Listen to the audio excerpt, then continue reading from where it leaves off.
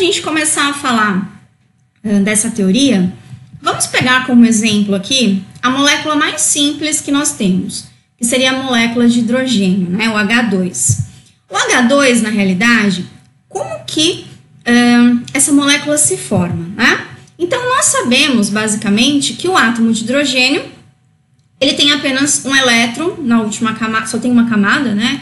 Até contradizente falar na última camada, ele só tem uma, uma camada. Então, a distribuição eletrônica do hidrogênio é um S1. Então, ele faz uma ligação, ok? E essa ligação, ela ocorre em qual subnível, vamos dizer? Essa ligação ocorre no subnível S. O subnível S, o orbital S, ele tem um formato esférico, conforme está sendo mostrado aqui. Então, o que, que acontece? Nós temos que entender que a ligação covalente ela vai se formando como? Os dois átomos eles vão se aproximar consequentemente, vai haver uma força de atração. E essa força de atração ela é decorrente das cargas positivas presentes no núcleo. Então, o núcleo de um átomo atrai o elétron do outro e nós vamos tendo essa aproximação, tá? E decorrente disso, nós vamos ter a formação da, da molécula. Aqui vocês têm um gráfico uh, mostrando, né, na realidade, a energia envolvida. Então, se vocês observarem, uh, se, se os, os átomos estão relativamente distantes, na realidade, nós não temos uma sobreposição significativa dos orbitais, então a, a ligação não acontece, né? Uh, se essa distância é maior ainda, você não tem nenhuma atração, e se essa distância for muito próxima, conforme está mostrando aqui, os dois núcleos passam a ficar muito próximos e aí você tem força de repulsão, ok? Então aqui nós temos um gráfico que ele relaciona o comprimento da ligação com a força da ligação, que é a energia envolvida nesse processo. Então, o que, que nós precisamos entender? Que para a formação da molécula de hidrogênio, nós temos a combinação de dois orbitais S do átomo de hidrogênio, de cada átomo de hidrogênio. E esses orbitais eles vão se atraindo, atraindo, até que vai, eles começam a se sobrepor, e aí nós temos a formação da ligação. Esse tipo de ligação, que é formado por essa sobreposição direta dos orbitais, é o que nós chamamos de ligação do tipo sigma, ok? Então, a ligação sigma, os orbitais, eles vão se sobrepor aí de uma maneira direta. Então, quando nós combinamos dois orbitais S, que é o caso da molécula de hidrogênio, para a formação da ligação covalente, nós temos uma ligação do tipo sigma. É muito importante uh, o entendimento do, de como a ligação covalente se forma e de quais os tipos de ligação covalente, porque isso vai ter uh, uma relação direta com as propriedades da molécula, com a reatividade uh, dessa molécula. Um outro exemplo aqui para a gente uh, ir discutindo um pouquinho, que é a molécula de HCl. Então, no HCl, o que, que nós temos? Nós temos uh, hidrogênio ligado ao cloro. Então, o hidrogênio tem a distribuição eletrônica um S1 e aqui nós temos a distribuição eletrônica de valência do cloro. Então, o que, que significa? Quando nós falamos em ligação covalente, agora nós vamos enxergar a ligação covalente pela formação do par de elétrons. Quantos elétrons, na realidade, desemparelhados o átomo de cloro apresenta? Um. Portanto, ele vai fazer uma ligação, ok? E o hidrogênio também, um, portanto, vai realizar uma ligação. Só que o que, a gente tem que perceber? No caso do hidrogênio, essa ligação ela está acontecendo no subnível S. E no caso do cloro, essa ligação ela está acontecendo em um dos orbitais P's do cloro, ok? Então isso é muito importante. Então, o que, que eu estou representando aqui na figura? Apenas o orbital P do cloro ligante. Os outros dois, que vão, na realidade, comportar os, dois, os outros dois pares de elétrons, eles não estão sendo representados aqui, tudo bem? Mas, na realidade, uh, obviamente, eles existem. Então, nós temos que lembrar o que? O orbital S ele tem um formato esférico, enquanto o orbital P ele apresenta esse formato de halteres. E esses halteres vão estar um no eixo Y, o outro no eixo X e um terceiro no eixo Z. Tudo bem? Então, como que essa ligação ela vai se formando, né, entre o hidrogênio e o cloro? Da mesma maneira que eu havia mostrado anteriormente. Então, nós temos o núcleo do, do átomo de hidrogênio, que vai atrair o elétron, o elétron do, do cloro e vice-versa, e essa atração vai fazendo com, esse, com que esses orbitais se sobreponham, e aí nós também vamos formar o que nós chamamos de ligação sigma que é formado pela essa sobreposição dos orbitais. Na molécula de Cl2, na realidade, essa sobreposição também acontece. Qual que é a diferença do Cl2 para o HCl? Que no Cl2 nós vamos ter dois átomos de cloro que vão se ligar e, esses, e essa ligação vai acontecer em ambos no orbital P, em um dos orbitais P. Então nós temos a atração desses halteres né, que está representando o orbital, e aí, consequentemente, um, um, um núcleo vai atraindo o elétron do, do outro elemento e essa ligação vai sendo formada também por sobreposição.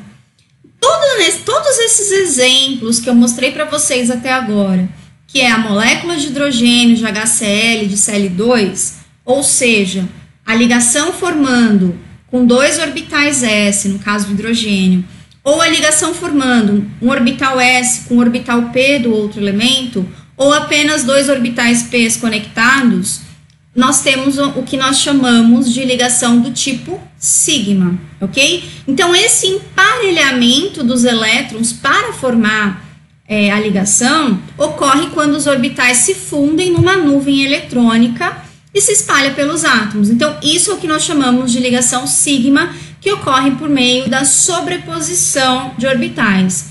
Existe só a ligação sigma? Não, existe um segundo tipo de ligação, que é o que nós chamamos de ligação pi. Um exemplo desse tipo de ligação é a molécula de nitrogênio. No nitrogênio, nós temos uh, dois elétrons aqui no orbital, né? Considerando a camada de valência, dois elétrons no subnível 2s e três no subnível 2p. Então, quantos elétrons desemparelhados nós temos? Três. Então, lembram-se, nós sempre vamos olhar a, a ligação covalente agora com esse critério de formação de pares de elétrons. Então, eu tenho elétrons desemparelhados na estrutura desses elementos não metálicos e aí eles vão se unir formando o par de elétrons, perfeito? Então, no caso do nitrogênio, nós temos três elétrons que estão desemparelhados, portanto, nós vamos ter três ligações covalentes acontecendo. E como que, vai, que essas ligações covalentes elas vão se formar? Então, aqui eu estou representando todos os orbitais P's do átomo de nitrogênio. Por quê? Porque a ligação agora vai ocorrer com os três. Eu tenho um elétron desemparelhado em cada um desses orbitais. Portanto, a ligação agora vai acontecer com os três. Tudo bem? Então, nós vamos ter esse vermelhinho aqui representando na vertical o eixo Y, o branquinho o eixo X e esse azul seria um eixo Z representando é, em três dimensões. Então vamos entender como que esses átomos vão se unir para formar perdão, a molécula de N2. Então, inicialmente, como nós havíamos falado até agora, nós vamos ter esses dois orbitais aqui que eu estou mostrando, ok? Então, esses orbitais aqui, eles vão se unir por meio da atração dos, dos núcleos, né? Então, o núcleo atrai o elétron do, do átomo seguinte e vice-versa. E esses orbitais vão se sobrepor. Assim como mostramos, por exemplo, no caso, vou até voltar aqui, do cloro. Qual que é a diferença? Que agora, no cloro, era apenas um orbital P de cada elemento que estava compondo a ligação. Agora, os três vão fazer parte disso. O que, que vai mudar? Então, nós temos a primeira ligação formada exatamente como a no cloro, que esses, esses orbitais vão se sobrepor e vão dar origem à ligação do tipo sigma, ok? Agora, é possível sobrepor os outros orbitais P's? É, é possível a possibilidade deles né, se encontrarem, ok? uh, até o que eu falei foi redundante, né? Não é, é possível né, que ocorra essa sobreposição? Então, o que, que acontece na realidade? Como que as outras ligações vão se formar? Apenas um desses orbitais é que vão se sobrepor. Os demais não tem como nós conseguirmos sobrepor os outros da mesma forma que esse que está ilustrado em branco. Então, o que, que acontece? O que nós chamamos de ligação pi. O que, que seria a ligação pi? Então, nós temos aqui esse orbital que está representado aqui agora em azul, na vertical, né? O que nós temos aqui é um efeito de indução aqui da nuvem eletrônica. Então, a ligação vai ocorrer com os orbitais agora nessa posição. Não existe a possibilidade de ocorrer a sobreposição como ocorre na ligação sigma. Portanto, essa, esses outros dois elétrons que vão estar uh, ligados, que seria esse aqui que eu estou representando em azul, e esses que estão nos, nos orbitais é, representado pelo preto aqui nessa outra figura, eles não vão conseguir se sobrepor formando a ligação sigma. Então, nós também vamos ter o que nós chamamos de ligação pi, que ela ocorre com os orbitais né, nessa posição, ok? E o que acontece é que nós temos aqui na realidade uma nuvem eletrônica e a presença de elétrons livres aqui nessa nuvem eletrônica, formando a ligação π, ok? Então, na ligação sigma, né, ela é muito mais, digamos assim, acentuada, porque nós temos a sobreposição desses orbitais, e já a ligação π é como se fosse uma nuvem eletrônica na estrutura, ok? Na realidade, o que, que nós podemos resumir do que nós falamos até agora? Quando nós temos a ocorrência de uma ligação simples na estrutura, nós vamos ter uma ligação sigma, foram os exemplos que eu mostrei para vocês no hidrogênio, no HCl, no cloro. Quando nós temos uh, uma dupla ligação, ok? Que é, agora nós já estamos falando das ligações múltiplas. A primeira ligação ela vai ser do tipo sigma, os orbitais vão se sobrepor, mas a segunda ela vai ocorrer por meio de uma ligação pi, ok? A ligação tripla, que é o que nós mostramos agora no, no nitrogênio, o que, que acontece? A primeira ligação ela é do tipo sigma e as demais vão ocorrer do, no, são ligações do tipo pi, ok? Então isso é super importante para que vocês possam entender como cada uma delas se forma. Então a ligação pi ela começa a se formar quando nós começamos a ter multiplicidade dessas ligações, ligações duplas e triplas no que ocorrem entre os orbitais p's, tudo bem? E aqui alguns exemplos para vocês, né? Então nós temos a molécula uh, de CO2 e a molécula de oxigênio. Então no caso da, da estrutura do, do CO2, o que, que nós temos? Nós temos duas ligações duplas, né? O carbono no centro, uma dupla com oxigênio, e uma outra dupla com outro oxigênio. Como que ocorrem essas ligações duplas? Então, a primeira ocorre do tipo sigma, com os orbitais se sobrepondo, e a segunda, representada aqui, ela é, ocorre por esse efeito de indução, formando essa nuvem eletrônica, que é uma ligação do tipo pi.